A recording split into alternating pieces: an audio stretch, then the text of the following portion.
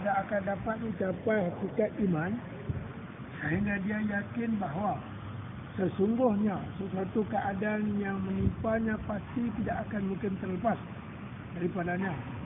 Dan sesuatu yang sudah terlepas daripadanya memang tidak akan menimpanya. Jangan dalam apa-apa keadaan seseorang itu berada dia hendaklah meyakini bahawa apa-apa yang berlaku semuanya daripada takdir Allah dan tidak diketahui apakah kebaikan yang tersembunyi untuknya dalam keadaan itu. Meyakini takdir akan memelihara iman seseorang dan menyelamatkan seseorang daripada lintasan-lintasan hati yang buruk.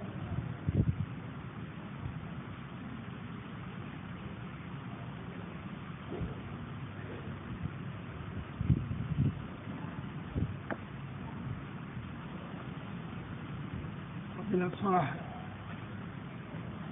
Salah salah sunat.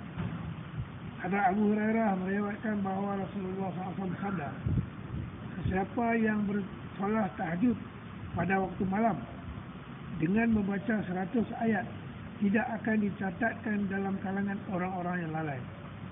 Sesiapa yang bersolat pada waktu malam dengan membaca 200 rakaat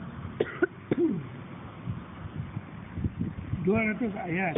Sesiapa yang bersolat pada waktu malam dengan membaca 200 ayat, sesungguhnya dia akan ditulis dalam kalangan orang-orang yang kelas beribadat kepada Allah.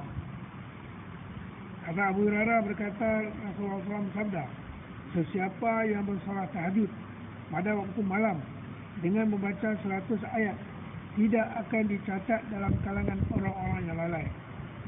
Sesiapa yang bersolat pada waktu malam dengan membaca 200 ayat, sesungguhnya dia akan ditulis dalam kalangan orang-orang yang ikhlas beribadat kepada Allah.